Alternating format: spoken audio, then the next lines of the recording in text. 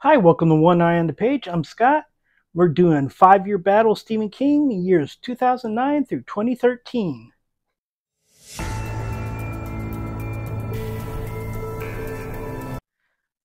Uh, this would actually be probably the the shortest collection of King for me to go through, except there are a couple of publications that generally most people might not add but since they were published in that time frame and they are not part of another collection i'm going to go ahead and add them.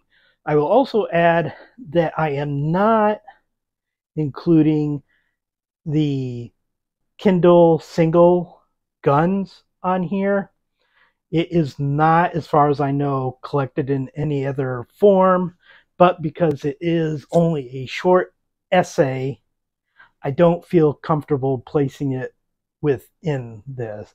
I assume at some point that it'll probably be added to some collection, but I feel comfortable not adding it here. I also didn't add the uh, Girl Who Loved Tom Gordon pop up book because although it's taken from a King book, the pop up book itself is not produced by King. So that's why I never included that, although many people might go, I didn't even know that was a book. Watch yourself, Ron. All right, so we're going to start with a big one Under the Dome. This is one of what three books King has written that have gone over a thousand pages, including it in the uncut version of The Stand. This one tends to feel more like it's thousand pages than those books. I don't think it's a bad book, but I think for the story that it has, it's just it, it could use some editing, I think. There are some great characters in there that I really like. It also has Big Jim, a town selectman, and at this point in time, I'm kind of tired of King's town selectmen because uh, they're always bad people, and it's become a trope now. If there's a town selectman in a King story, oh, well, that's going to be a bad person. And I'm thinking also of uh, storm of the century in which uh, the town selectman was also a pretty horrible person, or the head town selectman. Another one where aliens come into play. Aliens. Stephen King has been really hit or miss with aliens. This is probably his best uh, aliens novel but I, I, I it's kind of damning with faint praise since right now the other ones that I can think of are the Tommyknockers and Dreamcatcher, two books that are widely considered uh, some of his worst work. If you have time, you can read that or clobber somebody you don't like with it because it really it feels heavier than it or the stand. Full Dark, No Stars. As with different seasons and Four Past Midnight, this is another collection of four novellas. Uh, these ones are even more so than Four Past Midnight, more in the horror vein. Uh, you got 1922 uh, about, well, murder and marriage. Big Driver is a uh, about uh, a writer who is uh, attacked by somebody. She's a woman, so of course, in a King story, she's gonna be abused in some way. Uh, fair extension, which I'll be honest, I was trying to think before I started this what fair extension was about, and then I, I read the little blurb. It's like, oh yeah, I remember that kind of a, a deal with the devil thing. It, it is a, a good story. It's the shortest than the novellas in here. And I don't think I should necessarily hold it against it that I didn't think what the story was right away. It just didn't come out but as soon as I read it, it's like, oh yeah, I like that one. I'm maybe I liked it best of the four. One because it's short, and two is just an easy read. There's also a good marriage about a woman who believes that her husband is a serial killer. I gotta be honest, I, I like all of these novellas. Perhaps the one I like least is 1922, but I, I definitely like the three other ones quite a bit. If I were ranking the uh, novella collections, I mean, no doubt, different season is number one. But I don't know how I would rank this one at four past midnight, which is strange because I generally like all four of these novellas. And there are two novellas in Four Past Midnight that I, I don't really care for too much. But there are also two, The Langoliers and The Library Policeman, that I really like. And The Sundog, I definitely didn't like. And I'm completely blanking on the other one. So I don't know what that tells you. Oh, yeah. And the other one was Secret Window, Secret Garden, which was okay but I really like the Library Policeman. So I don't know. But I don't have to compare those now. Maybe at some other point I will compare them. But for now, I'm going to rank this below Under the Dome. 11/22/63. The time travel story, which you know you could probably guess from here. Man goes back in time to try to stop the JFK assassination. It is also a love story. I mentioned last time with Lisey's story um, that King doesn't often write fully developed romance stories. Romance often plays a part of his stories, but seldom is it such a huge part of it as it is with this one, Lisey's story, and Wizard and Glass there are some other ones like their relationship in, in insomnia definitely in bag of bones which i won't get into because i already griped about that but that is but the three novels you know this one uh, wizard of glass and Lisey's story are the ones that really have romance as part of the overall arch.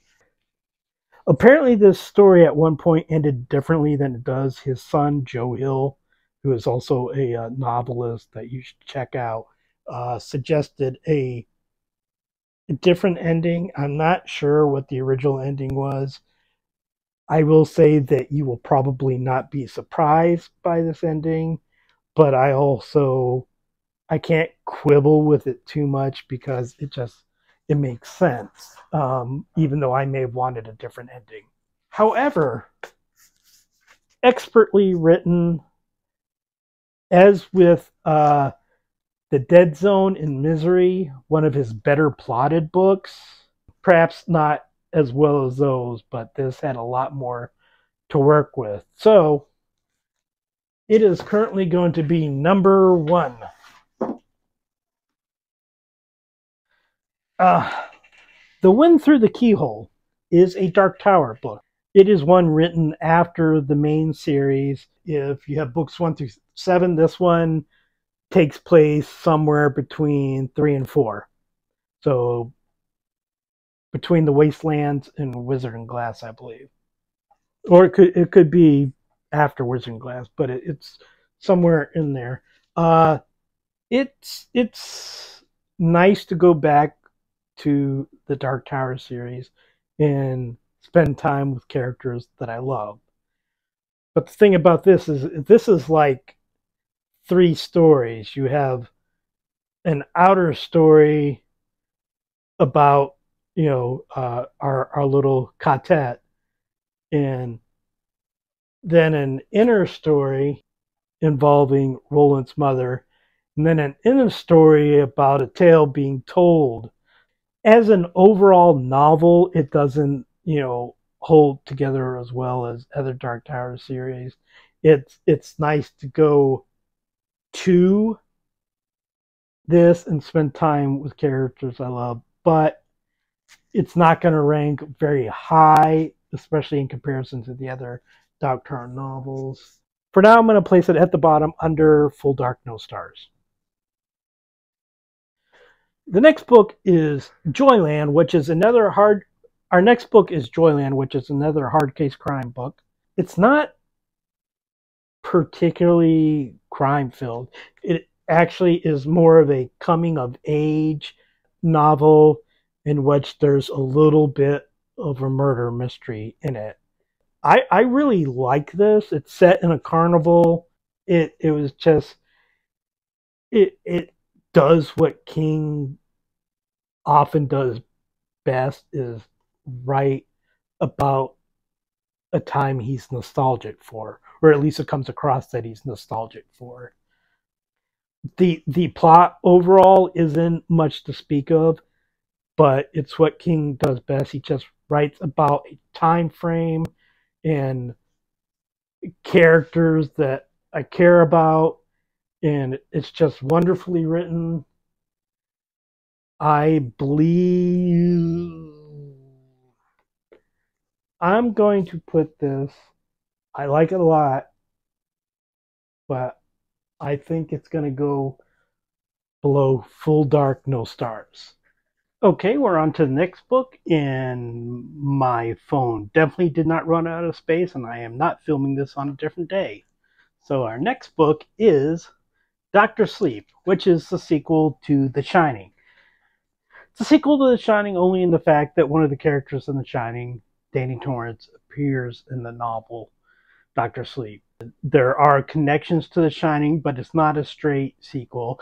Much like uh, Black House had some of the same characters as The talisman, but if you're expecting a continuation, then you're going to be disappointed. And perhaps you may be disappointed anyway.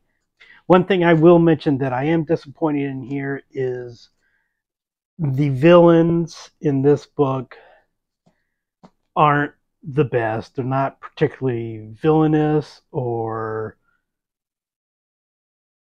difficult to defeat. Danny still has the shining a little bit. Danny is like his father, an alcoholic. It's it's a, a decent novel. It it doesn't hold up in comparison to The Shining, but I also don't think that we should, you know, compare it directly to The Shining. If I were ranking them uh, instead of battling them, this would definitely be below the Shining. So I don't know how far below or not. But in our ranking for the five year battle, whoo, doo doo doo I actually think I am going to put this below Full Dark, No Stars. Generally, if you're going through ranking the books published in the years 2009 through 2013, you'd be done. Except I do have some additional books that generally aren't known. And one of them is sort of a book, sort of a musical. The Ghost Brothers of Darkland County. Uh, it it is written by Stephen King, but also has music and lyrics by John Mellencamp, and the musical direction by T Bone Burnett. It involves the ghost of two brothers dead in an apparent murder suicide and their nephews living frank and duke who seem to be headed toward the same downward spiral i had heard about this for years that king and mellencamp were working on something like this and i was looking forward to it uh, mellencamp is not one of my favorite musicians but i, I like his stuff generally. There are a couple albums of his that I'm really fond of.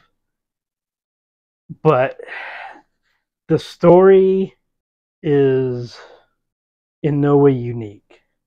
And I don't think that the music is anything special. I'm glad to have this, but that's more because I'm a completionist more than anything else. So for now, I'm going to rank this at the bottom. The final book, which is probably even less known than The Ghost Brothers of Darkling County, was not actually published or was not actually originally published in this time frame. It is The Dark Man, a poem written by King uh, in college in 1969. It is about Randall Flagg. It's a short poem. You can see like some of the writing on there. That's pretty much like every page. The Dark Man, the poem itself is that long. So it, it has illustrations. Glenn Chadbourne. The illustrations are very good, but the poem itself, again, is very short. It's another one that is probably for the collectors. If you do not have this in your library, you're not particularly missing much. I'm sure if you did a search, and I don't know this for sure because I haven't done it because I have the book, but if you do a search, I'm sure that you can find a copy of this poem somewhere so that you can have read it, but it's in no way a requirement. Because of the shortness of it, again, it's it's only like three pages long as a poem. The majority of it is illustrations, which again are very good, but the illustrations are not done by King. Because of that, it's going to be at the bottom. If you didn't count those two books, then this would be the shortest list of books published by King in a five year period at six, including those two it is eight, which is comparable to a couple other that we have gone through. And number eight, The Dark Man. At number seven, Ghost Brothers of Darkling County. Honestly, past those two, any book on here is a good to great book. Number six, The Wind Through the Keyhole, a Dark Tower book. Number five, Joyland. I'm a little bit surprised that Joyland is so far down there, but it's just generally the books. You know what? I'm actually gonna I'm gonna change it because I'm just number five, Doctor Sleep. I just I couldn't I I I enjoy Joyland so much more than Doctor Sleep that I have to do this. And I know that this is probably not an opinion that many people share. That is to be one of the uh, issues with going to me for this is I'm going to have some opinions that are just different than yours and sometimes drastically different. And I think this will be one of them. So I have at number four, Joyland.